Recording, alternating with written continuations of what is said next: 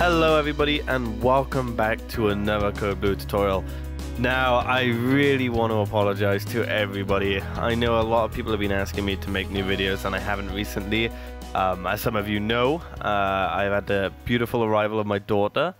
Um, so I've been quite busy with her and I've also been spending a lot of time working on personal projects that I didn't really have the chance to when I started the YouTube channel up.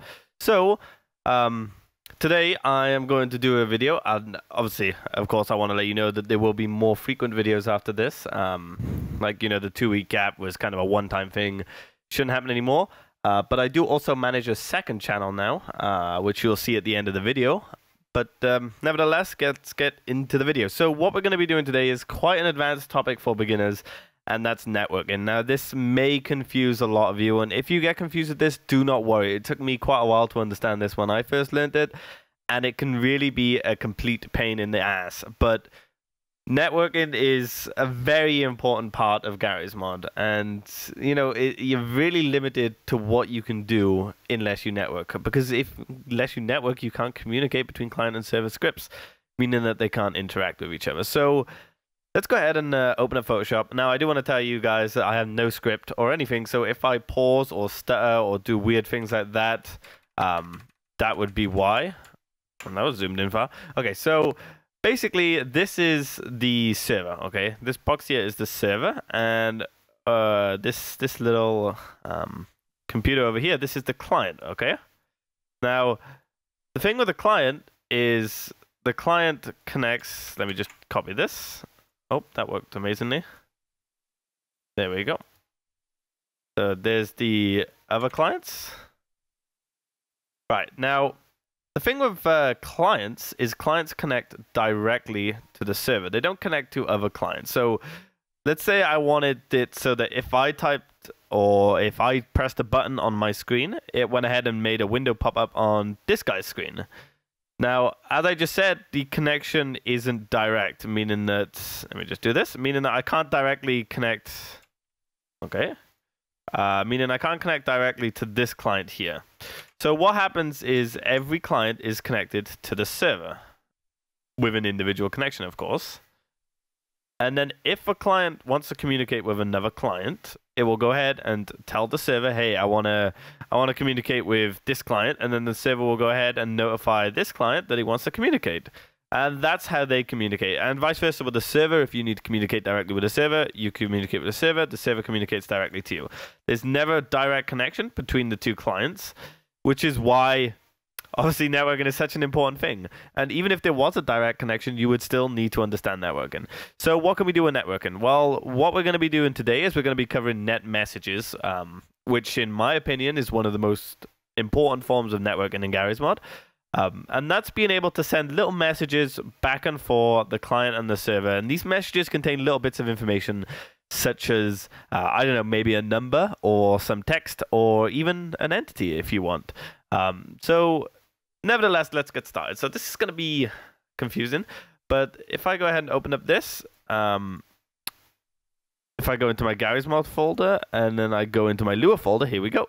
You can see here that I have two files that I've created. One's called test underscore client and the other is called test underscore server. So they're two completely empty files. Well, apparently they're not empty. They still have the demo code in from last time.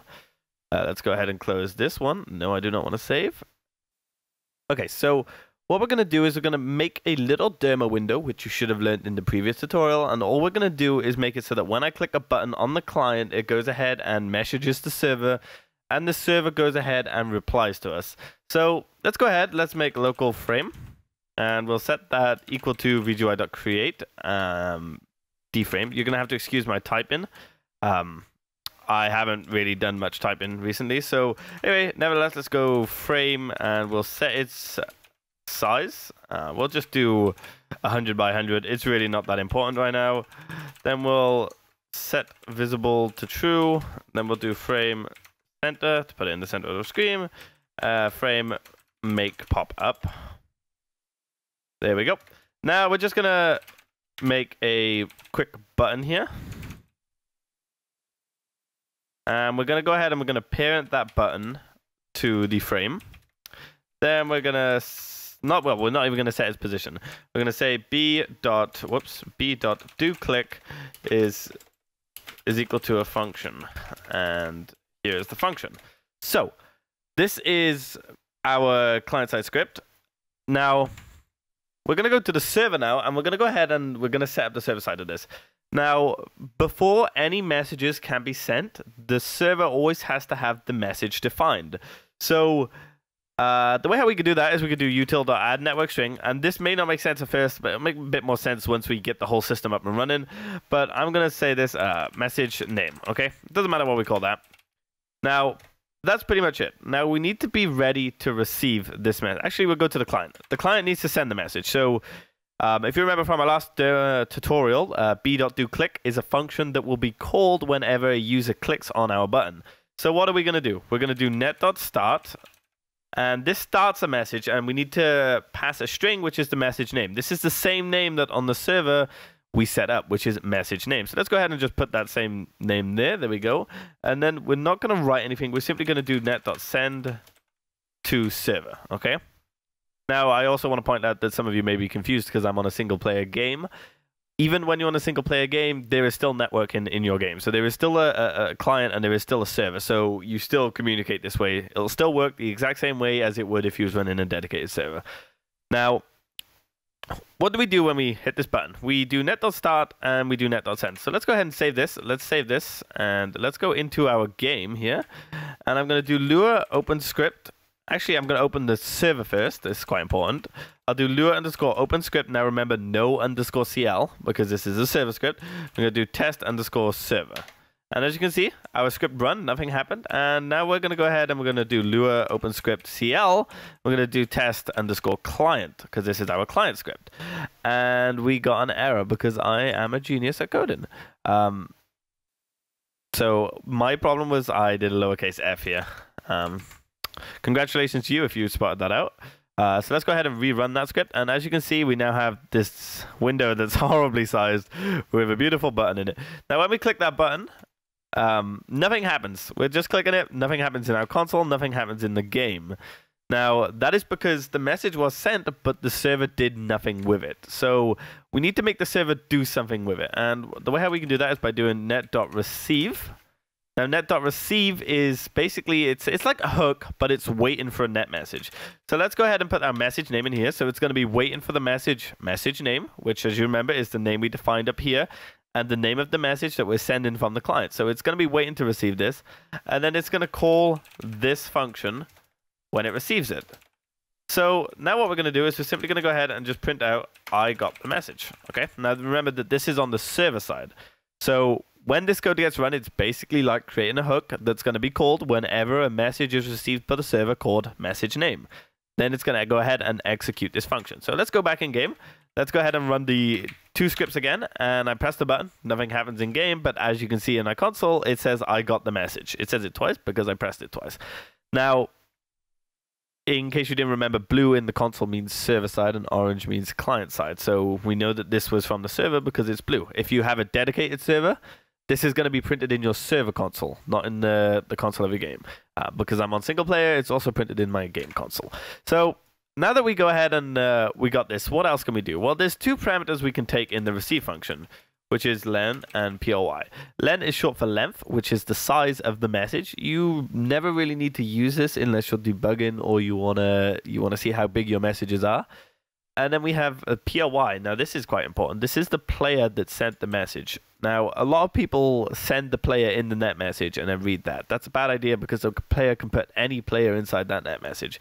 So if you don't understand what I just said, don't worry about it. Just know that this is the player that sent the message. So I'm going to say I got the message from, and then I'm going to go ahead and do PLY Nick. And it's going to go ahead and print the nickname of the player that sent it. So now I'm going to go ahead in game. Remember, i got to run both scripts again.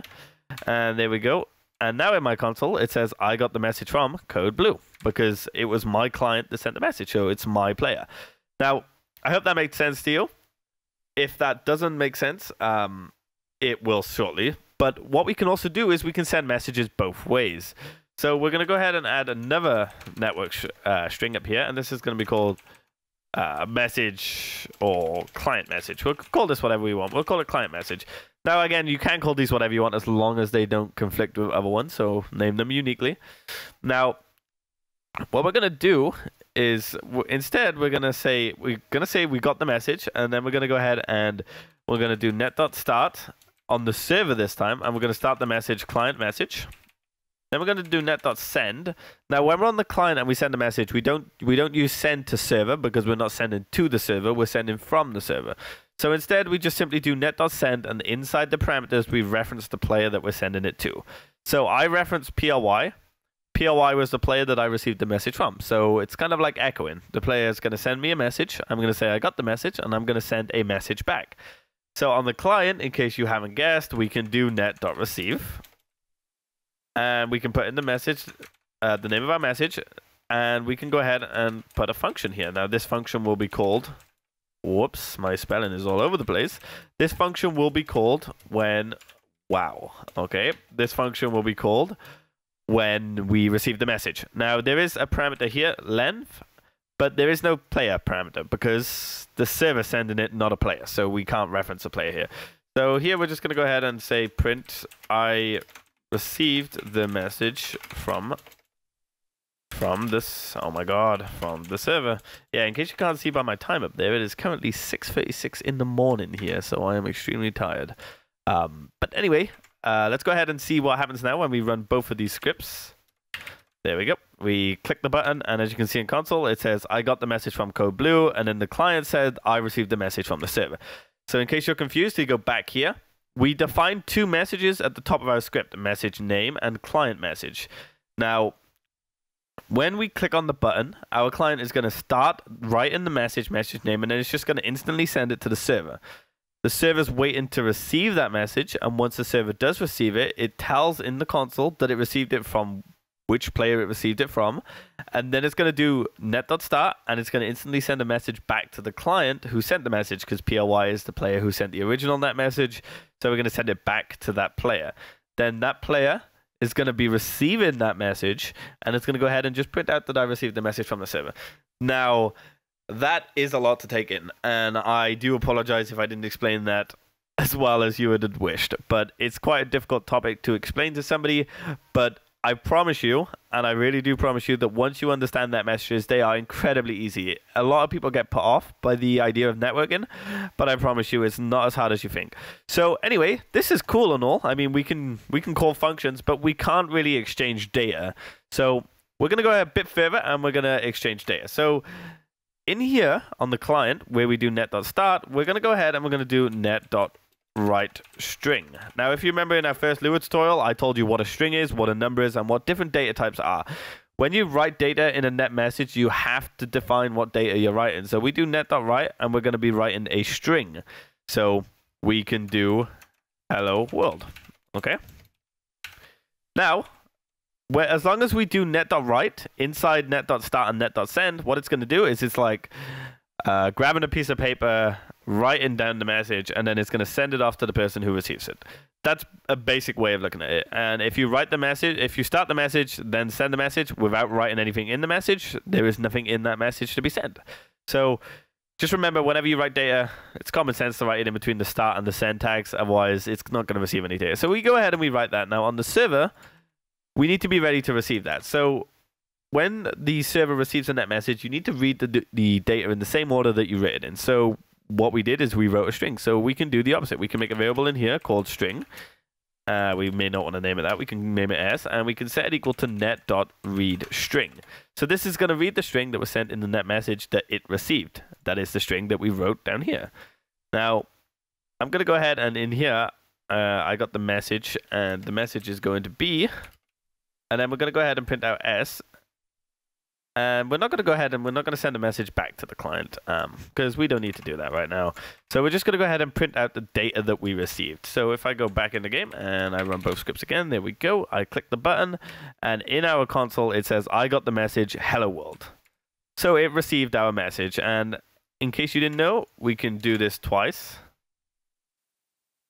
Okay, and by doing that, what we can do, sorry, by the way, if there was a little jump cut there, I had to go do something. What we're going to be doing here is we're going to be sending the data goodbye world as well, then on here, uh, when we read it, we can say local ss is equal to net.read string. Now, as you guessed, as I already said, it's read in the same order. So we write a string and then we write a string. So we're going to read the first string and then read the second string. Um, so I'm going to go ahead and do and. And we'll print out ss. And now we'll go ahead and get rid of all these boxes. We'll go ahead and run our scripts twice. There we go. Run it.